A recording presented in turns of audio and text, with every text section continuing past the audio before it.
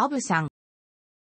アブ酸、またはアブ酸とアプ酸、アブシンスはフランス、スイス、チェコ、スペインを中心にヨーロッパ各国で作られている薬草系リキュールの一つ。苦よもぎ、アニス、ウイキョウなどを中心に複数のハーブ、スパイスが主成分である。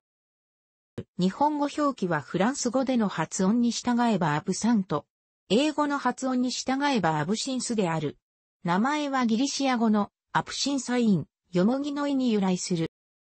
日本では有名な商品名であるペルノーを一般名詞的に呼ぶ場合がある。ペルノーという呼び方は同社のもう一つの有名な商品であるアニス酒を指すこともある。また、フランスの老舗メーカーであるディスティルリエドメーヌド、プロバンス社が製造するアブセント、アブサント、日本の輸入代理店はマルカイコーポレーションも近年、日本での取り扱いが増えている。50年代から90年代前半にかけて、サントリーやモンデ酒造などの国内メーカーからも販売されていたが、現在では製造されていない。2015年には、苦よもぎの代わりに、日本のよもぎを使用して作られた、ワブさんが、クラウドファンディングによって商品化されている。アルコール度数が高く70%前後のものが多い。低いものでも40%程度、製品によっては89%を超えるものもある。薄く、緑色を帯びて折り水を加えると翡翠用成分が析出して白濁する。色と白濁の度合いは製品によって大きく異なる。他のリキュール類と異なる特殊な香りと味を持っている。そのまま飲むこともあるが、度数が高いため薄めて飲んだり、得意な後期があるためカクテル材料としても用いられる。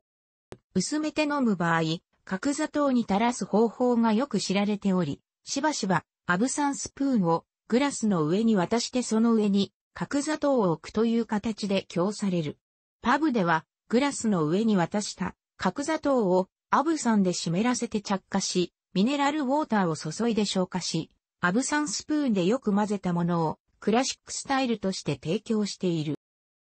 この独特な飲み方をするために、アブサンには独特の道具が用いられることがある。アブサンの名産地の一つであったポンタルリエの名を冠したポンタルリエグラスは、球形の液ダメの上にグラス型の部分を乗せた独特な上げ底の足付きグラスであり、液ダメの部分にだけアブサンを注いでから水を注ぐ。角砂糖を置くためにアブサンスプーンという穴が開いた、時に装飾的な形状のスプーンを使用する。水を滴下するために使用する水差しは、カラフェやファウンテン、ブローラーといったアブサン専用の独特な形状のものが存在する。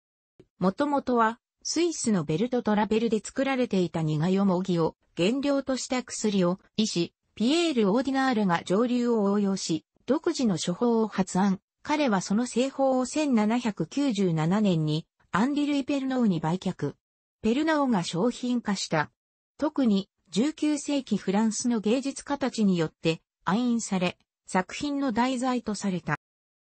安価なアルコールだったために多数の中毒者、犯罪者を出したことでも知られる。アブサン中毒で身を滅ぼした有名人としては、詩人ポール・ベルレーヌや画家、アンリ・ド・トゥールーズ・ロー、フィンセント・ファン・ゴッホがいる。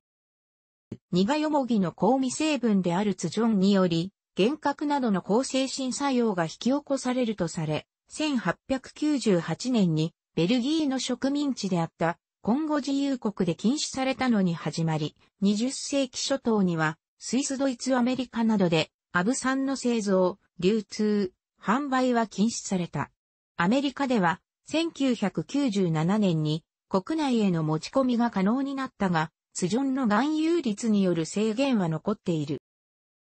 一方で、ツジョンが原因によるアブ酸中毒は疑問視されている。このため、苦よもぎを用いないアブ酸の代替品として、パスティス、ニセル、を由来とするが製造された。販売を目的としない小規模な製造についてはほとんど取り締まりがなかったため、フランス、スイスなどを中心とする欧州の各地に自家用のアブザン醸造家が存在した。一方、スペインなど禁止されていない国もあった。日本でも苦いよもぎ抽出物が食品添加物、既存添加物として使用が許可されていたため、ペルノーが一般的な流通ルートで輸入されており、国産製ではサントリーがカクテル用に一般流通させていたヘルメスリキュールシリーズのラインナップとしてアブさんを販売していたことから、洋酒販売店やバーにおいてはそれほど珍しいではなかった。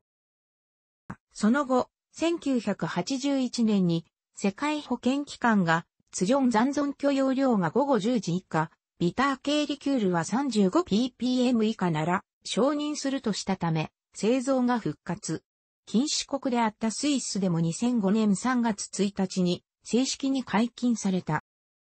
楽しくご覧になりましたら、購読と良いです。クリックしてください。